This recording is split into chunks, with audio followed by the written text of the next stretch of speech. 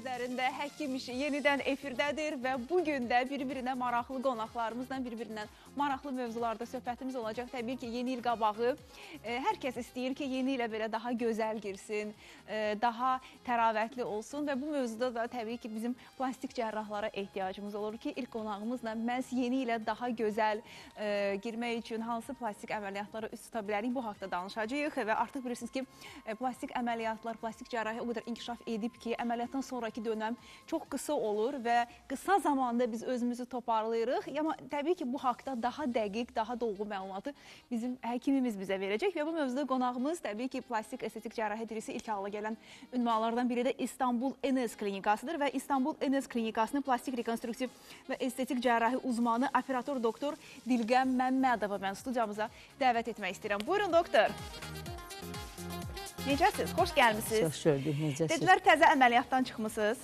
Amma buna baxmayaraq çox şıksınız bu gün. Təşəkkür edirəm. Təbii ki, yeni il qabağı hər birimiz istəyirik ki, daha gözəl olaq, daha e, yaraşıqlı olaq. E, və mən istəyərdim e, belə qoyum sualımı ilk öncə. Fatimə necədir bu arada? Lap yaxşıdır, yazıldı. Yaxşıdır. Deməyəcəksiniz, nə əməliyyat eləmisiniz? Məslək sir, sirdir təbii ki, xəstənin. Amma buradan salamlayırıq bizim e, sevimli rəqqasəmiz Göyçək Fatiməni, Fatimə xanımı. Ümumiyyətlə gözəl xanımları biraz daha gözəlləşdirmək məncə daha məsuliyyətlidir. Bir var e, çirkin xanım deməyim, amma biraz qüsurlu xanım olsun. Amma Fatimə xanım gözəl xanım idi. İndi ona bu gözəlliyin sırasına daha gözəl bir şey meydana qoymaq məncə biraz e, məsuliyyətli. İndi görək nə alınıb, amma mən əminəm ki, e, çox daha gözəl görəcəyik onu yeni ildən sonra və yaxud İnşallah. bəlkə Önümüzdəki də dönəmlərdə bəlkə birlikdə Bəlkə də daha tez. görəcəyik. Bəlkə də daha tez. Mən istəyirəm bu gün biz e, sizlə danışaq vücud şəkilləndirmə əməliyyatlarından. Siz başlayın, amma daha sonra mənim e, Dilqam doktor haqqında məlumatım olacaq sizə, çatdıracaqlarım olacaq. 012 404 31 15 bizim əlaqə nömrəmizdir və Həkim İşi Instagram səhifəmizdə aktivdir əziz dostlar. E, kimə hansı ünvan rahatdırsa öz suallarınızı bizə canlı-canlı da ünvanlaya bilərsiniz. Buyurun doktor. Öncəliklə e, bizi izləyən tamaşaçıları salamlayıram. Hər kəs salamlayıram. E, mövzuya başlamadan öncə e, qısaca bir şey söyləyəcəm. Məncə plastik cərrah nədir, kimdir, hansı işi edər? Bir qısaca bu məlumatı verək. Çünki e, konsultasiyaya gələn xəstələrin çoxu o, məsələn, əməliyyat olan pasiyentlər eşitdiyində doktor siz bu əməliyyatı da mı eləyirsiniz? Plastik cərrahlar bu əməliyyatı da eləyirmi deyə. Plastik cərrah e, normalda çox geniş sahədir. Saç həkimindən başlayar, dırnaq batmasına qədər müdaxilə edə bilən bir alandır. Mən qısaca söyləyəcəm. Bir estetik bölümümüz var. E, bu estetik bölümdə nələrdir? Rinoplastikalardır, üz gərmə əməliyyatlarıdır. Onun xaricində mamoplastikalardır, vücud şəkilləndirmələrdir, qol gərmələrdir, bacaq gərmələrdir, e, abdominoplastikadır. E, bu estetik əməliyyatlar. Qaş qaldırmadır, üst göz qapağıdır, alt göz qapağıdır, dodaq şəkilləndirmədir, qulaq əməliyyatlarıdır. Yəni ağlınıza gələcək hər türlü estetik müdaxiləni bir kərə yapan kişidir plastik cərrah. İkinci rekonstruktiv əməliyyatlar. Yəni bir plastik cərrahı yenidən bərpa etmə. Yenidən bərpa etmə, mövcud olan şeyi yenidən bərpa etmə və ya heç olmayan şeyi bərpa etmədir. E, bir estetik cərrahın təməlində rekonstruksiya yatar. Yəni sən rekonstruksiyanı nə qədər yaxşı bilirsənsə, estetikdə də o qədər başarılı olursan. Burada bir konjontal anomalilərimiz var. Bu nədir?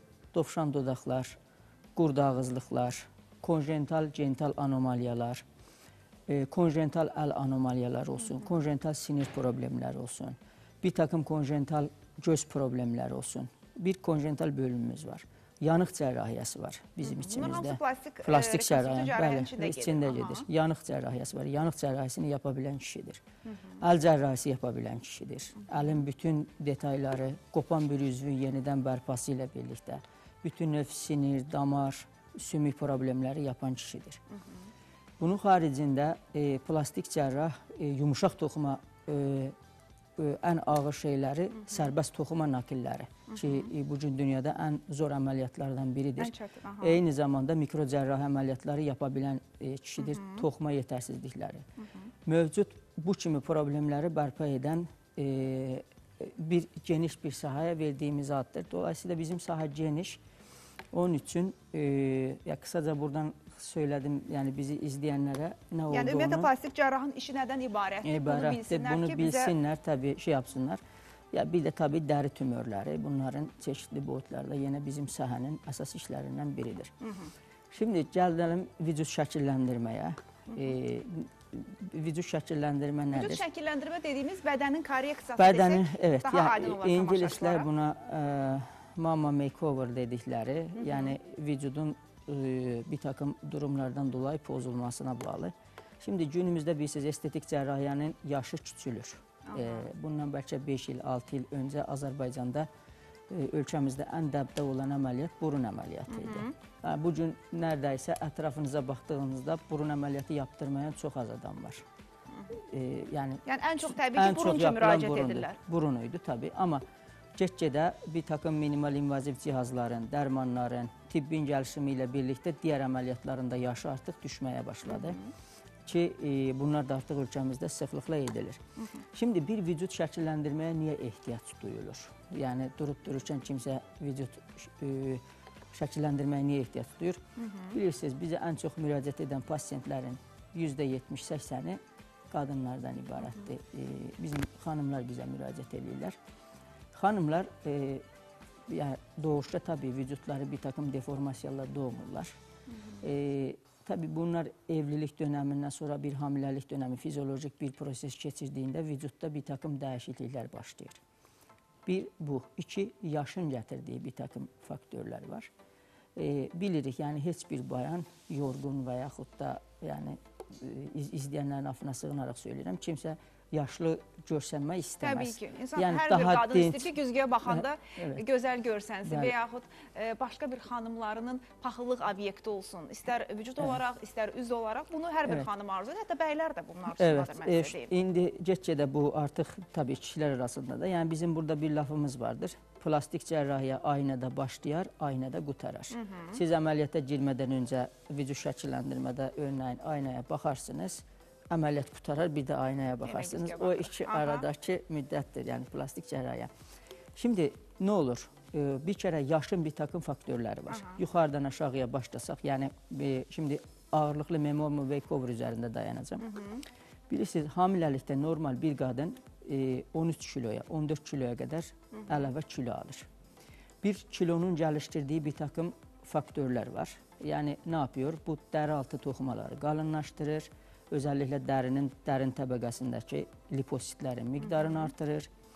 Bir takım hormonal dəyişikliklər başlayır e, və bunların təsirində dəridə nə olur? Dəridəki elastik liflər azalmağa başlayır və bu elastik liflər öz yerini kollagen dediyimiz bir takım liflərə buraxmağa başlayır.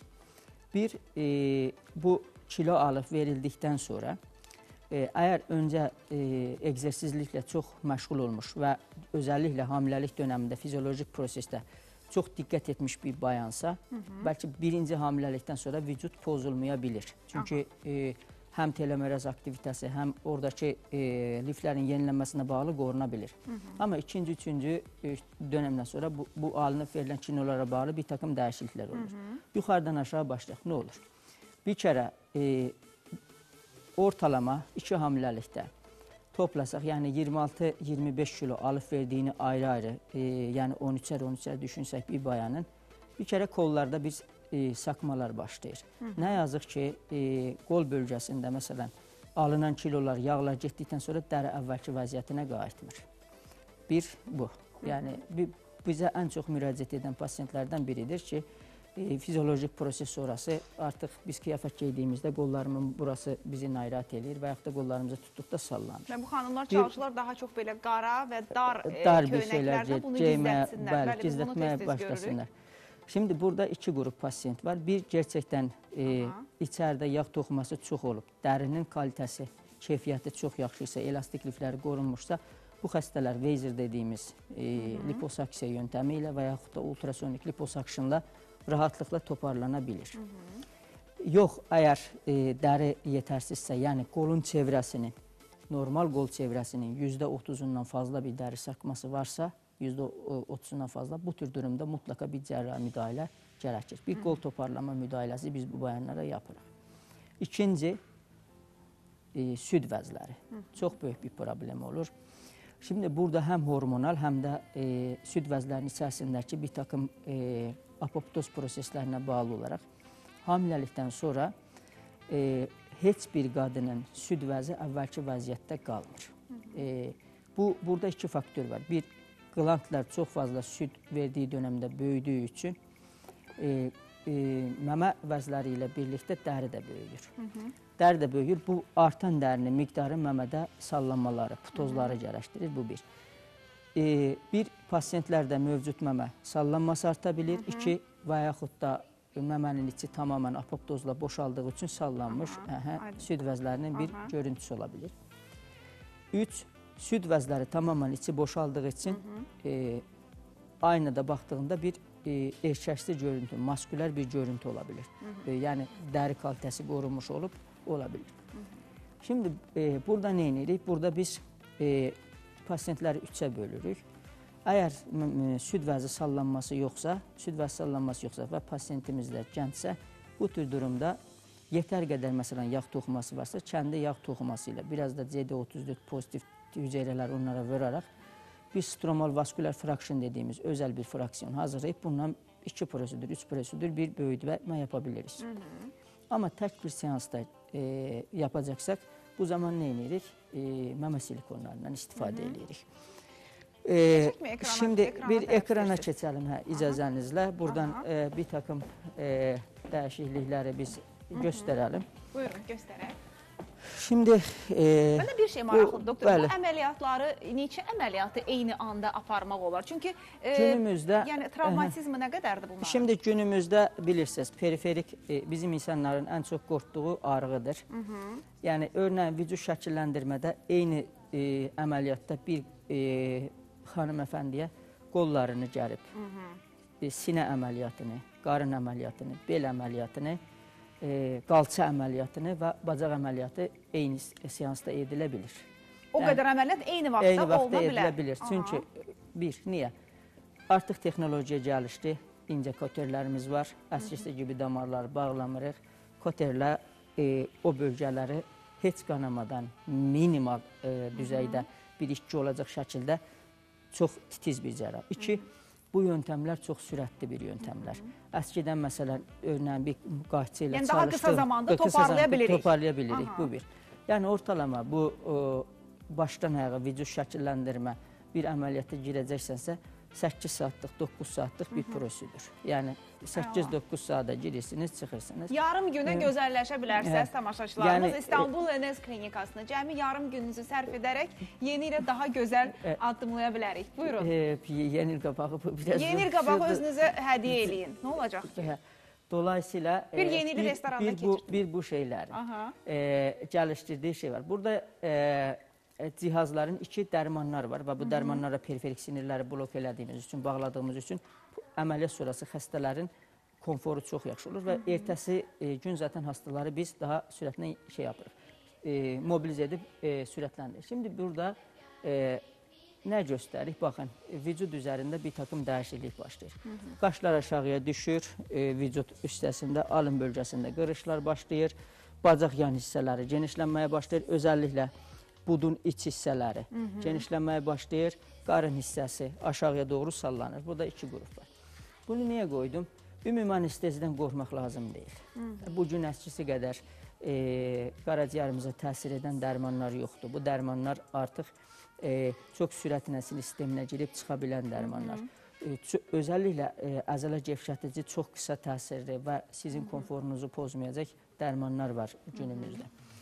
E, şimdi məmədən danışırdı. İki tip silikonlarımız var. Bir salin e, məmə silikonları var, bir normal məmə silikonları var. Hı -hı. Bu slaytda biraz hə, e, e, içərisində e, maye olacaq.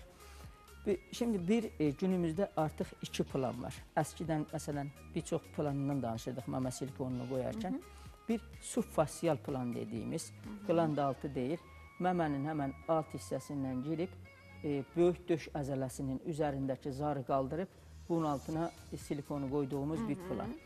E, Bunu elədiyimiz xəstələrdə məmə toxuması yetərli qədər olacaq. Digər şeylərdən üstünlüyü nədir? Daha təbii, daha xoş, daha fiziolojik və daha doğal bir məmə görüntüsü. Amma süd vəzinin öz toxuması da burada rol oynayır ki, hansı vəziyyətdə? Bəli, bəli, Ona hansı vəziyyətdə? Bəli, Aha. təbii ki, süd vəzinin yetərli qədər toxuması yoxsa şey yapamayız. E, çoğunluqla bu gün qoyduğumuz submuskülər, yəni e, ikili plan dediyimiz.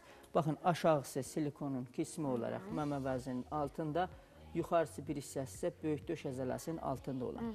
Niyə bunu qoyuruq? Keçən də bunu söyləmişdik. Çünki əzələ altı qoyduğumuz e, silikonlarda uzun dönəmlərdə 15 il sonra, 20 il sonra çox böyük bir problem çıxmır. Yəni silikona bağlı kapsül kontraktürləri olsun, orada bir takım deformasiyalar olsun, daha az ola bilən bir şeydir. Məmə toxuması yetərsizsə, silikonla biz nə yapırıq? Bunları toparlama eləyirik. Məmədə ən zor, e, süd vəzində ən zor e, əməliyyatdan biri sallanma ilə birlikdə toparlama. E, bu gerçəkdən də çox dikləşdirilməsi. dişləşdirmədə, yəni toparlama. Çünki bu gerçəkdən çox təcrübə istəyən bir yöntəm. E, niyə təcrübə istəyən bir yöntəm? Çünki yeni məmə e, süd vəzinin başına gətirəcəyin bir yer seçiləcək e, silikonun miqdarı, beyzi və sisisi çox-çox önəmlidir. Çünki e, burada e, ufaq bir e, xata elədiyin zaman çox böyük e, problemlərlə qarşı-qarşıya gələ bilirsən.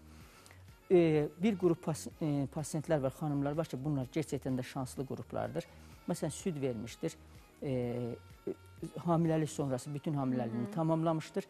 Məmədə yetəri qədər toxuma vardır və bu toxuma ilə birlikdə e, sallanmanın miqdarı da azdır və ya çox ola bilir. Süd verib bitirdikdən nə qədər sonra bu əməliyyatları eləmək olar? Ortalama 12-18 ay sonra. Aha. Yəni e, ortalama 1 il, 1 il yarım qədər e, bu lazımdır. minimum 1 il qədər gözləmək lazımdır. Bir süd vəzi problemlərini toparlayırıq. İki, qarın gərmə müdaxiləsi. Şimdi baxın, e, hamiləlik zamanı bizdə olan ən böyük problem nədir? Ön e, qarın əzələsinin e, bu bölgənin gevşəməsidir. Bu həm əzələ bazında ola bilən, həm də cilt-cilt altı toxumalarda ola bilən bir şey. Burada pasiyentlər iki qrupa bölünür. Əgər hamiləlik dönəmi e, yetəri qədər özünə diqqət eləmişsə, e, çox kilo almamışsa e, və dəri və əzələ diastazı çox fazla deyilsə, baxın bu minimal e, gövdənin alt hissəsində olan problem göbək e, müdaxiləsi edilmədən, göbəyin üstünə çıxmadan belə mini abdominoplastika dediyimiz 1 saatlıq, 1 saat 15 dəqiqəlik bir yöntəmlə burasını həll edə bilirik. Aha. İkinci bir qrup e, var ki, biz buna e, Tam abdominoplastik. tamamən e, abdominoplastik edirik. Burada da üç qrup var. Endoskopik olanlar, lateral tension dediyimiz gərginlik olanlar, bir də saldara dediyimiz lipoabdominoplastika dediyimiz üç texnik. Burada nədir? Yuxarıdan aşağıya doğru əzələ ortadan e, qarnın düz əzələsi var. Ayrıldığı üçün tamamən qarın bir boş şəkildədir və dəridə də çatlaqlıqlar e, eyni zamanda onun üzərində görünür. Bunlarda isə tam abdomini keçirik. Şimdi o söylədiklərimin farkı nədir? Bu gün üst bölgəyi incəldirik. Baxın bu bir tam abdominoplastikanın animasiya görüntüsü. E, bir bikini və yaxud da e, e, iç çamaşırının içərisində qalacaq şəkildə çox yuxarıya çıxmadan bir izimiz olur. Bu izlə biz e, qarın ön tərəfini qaldırırıq. Aha. Buradan demək bunu belə qaldırırıq. Qaldırırıq, bəli. E, orada burada özəl plan var. E, şimdi pasiyentlər çox e, rastlaşdığım bir durumdur. Əməliyyat sonrası çox müraciət olur mənə, ona görə söyləyəcəm. Şimdi bu əməliyyatlarda önəmli olan buradakı lenfatik sistemi qorumaq. Aha. Əgər buradakı lenfatik sistemi qorumazsan, e, müdaxilədən sonra xəstələrin qarnındakı şişliklər uzun çəkir. Dəri və dəraltı şişliklər, özəlliklə genital bölgənin şişlikləri uzun çəkə bilir. Əməliyyatda çox ən önəmli şeylərdən birisi bu bölgədəki lenfatik sistemi qorumaq. Bu bir o açıdan önəmlidir. İki, əməliyyat sonrası xəstələrin qarnında bir takım birikimlər, mayelər, seroma kimi problemlərin qarşısını almaq. Burada nə edirik? Baxın o ön ö, əzələ hissəsini bağlayırıq, yanında göstərdim. Görürsünüz, e, abdominoplastika sadəcə qarnı bir dartma əməliyyatı deyil, bir əzələ şəkilləndirmə əməliyyatdır. Göbək öz yerində qalır, mövcud göbək dərisini aşağıya doğru çəkirik. Beləliklə baxın bu hissədə bizim çatlamış olan, e, atrofiya olmuş dəri hissəsini, O striyalarda aradan striyaları aradan çıxardırıq. Göbək şəkilləndiririk. Göbəyin tipləri var. Tabii insanlar Doktor, siz e, məslək sirrinizi artıq verdiniz bizim tamaşaçılarımıza. Problem değil. Şimdi Mənə insanlar sonra icazə verərsiniz 2 dəqiqə sizin haqqınızda məlumat E, verəcəm. əhə. Bunu bitirək. Şimdi Aha, e, burada e, burada izin tabii minimal tutmağa çalışırıq. aha. Bu gün günümüzdən böyük problem nədir? Göbək. İnsanlar dənizdə bir-birinin göbəyinə baxar. Bunu bilirik. Siz əgər e, Hələ burada- göbək yoxdursa, bilirsiniz necə baxırlar. Hə, şimdi dolayısıyla burada göbək tipləri var. Bu göbək tipləri artıq 6-7 dənə. Bunu əməliyyatdan öncə biz bəlirləyirik. Çünki standart bir şey yaptığında çox xoş bir görüntü olmur. Bilirsiniz, göbəyin üstü yarımay şəklində gələr, aşağısı biraz kimi yapar, aha. çuxur yapar. Onun üçün özəl bir işləmdir. Abdominoplastikada çox-çox diqqətli olmaq lazım. Yəni bir dermolipektomida göbək buraxmaya bilirsin. Hasta çox-çox kiloluysa bu. Sonra işte reabilitasiya dönəmi başlayır, çox qısa bir dönəm. Tabii burada önəmli olan e, abdominoplastika ilə birlikdə saldara dediyim buradakı yağ toxumalarını da götürmək. Bu Və bizə istifadə edə bilmək. İstifadə edə bilmək. Təbii Aha. e, genelliklə bunları biz götürürük. E, çeşitli bölgələr üçün nə edirik? İstifadə, İstifadə də edirik. edirik. Yaxşı. Siz biraz su için. Mən sizi çox danışdırdım. Amma mən istəyirəm, ə, əziz tamaşaçılar, Dirqəm doktor haqqında sizə məlumat verim. Mən verim məlumatı yoxsa özünüz verirsiniz? Buyurun siz. Bir cümlə ilə deyin görüm. Dilqəm Məmmədov kimdir? Bir cümlədə deyin, mən davam edəcəm. Mən 2017 2007-ci ildə İstanbul Üniversitesi Cərrahpaşa Tibb Fakültəsindən məzun oldum fakültə olaraq. Aha. E, 2013-cü ildə Şiş Letval Eğitim Araşdırma Xəstəxanasında e, tabii TUS imtahanı verərək 2007-ci ildən sonra bilirsiniz Uzmanlıq qazandım. uzmanlıq. hə. E, plastik rekonstruktiv estetik cərrahi uzmanı adını aldım.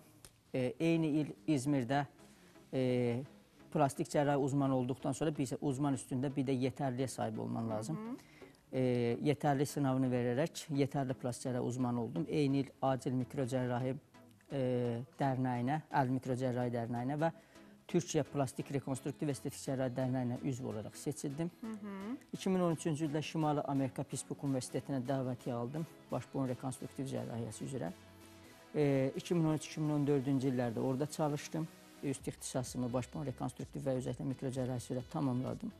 Ondan sonra ölkəmizə döndüm.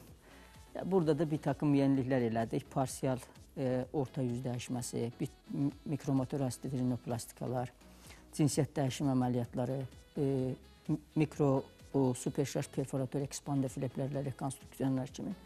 Belə qısaca bu. Yəni, Yəni mən sizə təşəkkür edirəm ki, e, mən bilirəm ki, bizim bir çox uzman e, həkimlərimiz var. Yəni bir çoxlarımız, bizim dostlarımız. Mən hər birini görəndə deyirəm ki, çox sağ ol ki, yenə də işləmək üçün vətəni seçdin. Çünki doğrudan da bizim ehtiyacımız var. Çox. Xaricdə təhsil alıb daha sonra burada o təhsilin nəticəsində aldığı bilikləri bizimlə paylaşacaq həkimlərimizə ehtiyacımız var. Və nə gözəl ki, harda oluruqsa oluq, olaq o vətənə olan sevgi, öz xalqımıza xidmət etmək istəyi bizə yenə də qalib gəlir ki, biz qayıdırıq və məhz e, çalışmaq üçün vətəni seçirik. Buna görə sizə təşəkkürümü istəyirəm. Çünki olun. Mən bilirəm ki, siz e, qeyd etdiyiniz ölkələrin istənilən birində istədiyiniz xəstəxananın qapısını açardınız və sizə xoş gəldiniz hocam deyərdilər. Mən bunu bilirəm, e, görmüşəm və Yenə də çalışmaq üçün siz Azərbaycanı və İstanbul ENS klinikasını seçmisiniz. Neçə dəqiqəmiz var bizim? Dəqiqə yoxdur, artıq yaxşı, yaxşı, əsəbləşmə. Və biz e, əziz tamaşaçılarımız e, həkimimizlə sağollaşırıq, amma verilişimiz davam edir. Siz də gözəlləşmək istəyirsinizsə, bildiyim qədərilə endrim aksiyaları da var. İstanbul ENS klinikası Ay bir sonuna 30 qədər dekabr var. tarixlərində abdominoplastika, liposaksiya, süd vəzlərinin böldürməsi və kişidilməsinə in- 20% endirim olunubdur. Buna görə də İstanbul ENS klinikasının rəhbərliyinə dərin təşəkkürümüzü bildiririk və inşallah yenidən sizi studiyamızda gözləyirik. Artıq gözəl. Xoş gələn il sizinlə yəqin ki görüşərik. Buyurun, mən belə yola salım yavaş-yavaş. Və sizə sponsorumuz yox, baş sponsorumuz haqqında məlumat verəcəm. İndi bu oğlanı güya kök göstərmək istədiniz də, hə? Ona görə belə bəzəmisiniz. Əziz tamaşaçılarımız, proqramımızın baş sponsoru Səlis Danışıq Loqopedik və Psixoloji Mərkəzidir. Səlis Danışıq Loqopedik Mərkəzində tam rahat şəkildə uşaqlarınızda reabilitasiya işini həyata keçirə bilərsiniz. Mərkəzin rəhbəri Xavər Abdullayevanın Azərbaycanda tam yeni avadanlıqlarla təchiz etdiyi bu mərkəzdə həqiqətən də uşaqların uğurlu gələcəyi yolunda imza atılmışdır. Səlis Danışıq Loqopedik Mərkəzi Bərdə və Füzuli rayonlarında da öz şöbələri ilə uşaqlarının xidmətindədir. Burada sehirli aləm sensor, otağı koxlear, otağı səssizlik dünyanın açarı, abiliton otağı kəkələməyə son, günü uzadılmış qrup, Montessori günlük yaşam kimi otaqlar fəaliyyət göstərir və siz e, sanki ev şəraitindəymişsiniz kimi qısa zamanda övladlarınızı kəkələmə probleminə son qoya bilərsiniz. Bir aya 80%-ə qədər kəkələməyə son qoyma şansını məhz Səlis Danışıq Loqopedik və Psixoloji Mərkəz sizə verir və qeyd edim ki, mərkəzdə e, günü uzadılmış qruplar var. Yəni burada uşaqlarınızla 1-2 saat deyil, 3-4 saat iş aparılır e, və təbii ki, sağlam gələcəyə səlis nitq və sağlam ruhla başlamaq üçün mütləq Səlis Danışıq Loqopedik və Psixoloji Mərkəzə müraciət edə bilərsiniz. Ünvan Nərimanov rayonu Fətəli xan küçəsi 169A. Əlaqə nömrələrini isə ekranlarda görürsünüz.